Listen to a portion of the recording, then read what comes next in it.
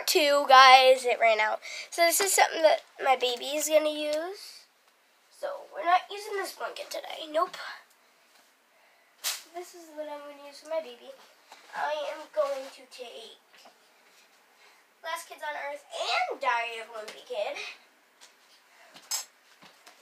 Last Kids on Earth. Um, Nightmare King. This is a good um show.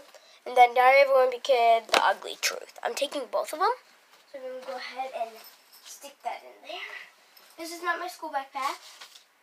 Okay, um, got that, okay.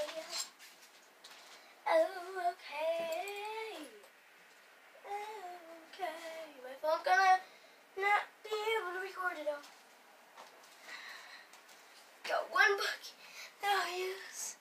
I have some other stuff downstairs.